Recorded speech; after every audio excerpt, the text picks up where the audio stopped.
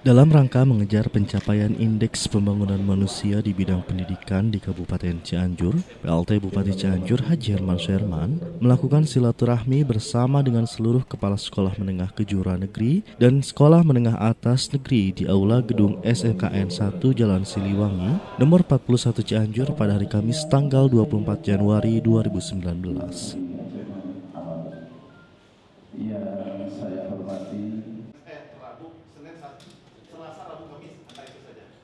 Dalam kesempatan itu, puluhan kepala sekolah yang menyempatkan hadir dan menyimak secara seksama arahan-arahan yang diberikan langsung oleh PLT Bupati Cianjur. PLT Bupati Cianjur menyebutkan dengan adanya forum silaturahmi seperti ini agar dapat langsung memerintahkan seluruh kepala sekolah untuk bisa mengimplementasikan program-program yang dicanangkan pemerintah Jawa Barat seperti Jabar Masagi demi mempersiapkan sumber daya manusia yang madani di masa yang akan datang.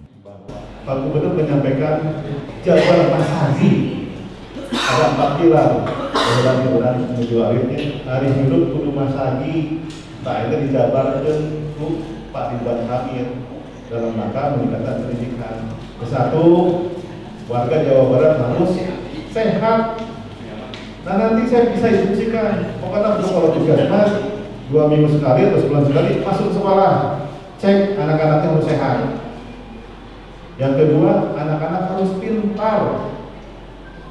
Bahkan ingat gak waktu Pak Gubernur menyampaikan 2050 kalau nggak salah ya bahwa Indonesia ini akan menjadi negara yang adidaya ketiga satu dunia.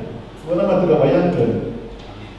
Mungkin kan Pak Gubernur menyampaikan 2050 Indonesia akan menjadi negara adidaya ketiga satu dunia itu berdasarkan penelitian ahli-ahli dan ini juga bisa dipertanggungjawabkan apa sumber daya manusia Pak Indonesia paling banyak dua setelah Cina. Penduduk apa sumber daya alam. Kalau katanya kata Pak Ridwan Kamil eh, Allah Subhanahu Wa Taala pada saat menciptakan Indonesia itu pada sedang senyum sehingga Indonesia itu kan cukup plus mana tongkat kayu saking indahnya, saking suburnya Indonesia. Yang ketiga, anak-anak harus beriman pada Allah Subhanahu wa taala, peraturan dan sebagainya. Yang keempat, anak-anak harus berakhlakul karimah, sopan santun terhadap guru, terhadap orang tua, sesama dan sebagainya.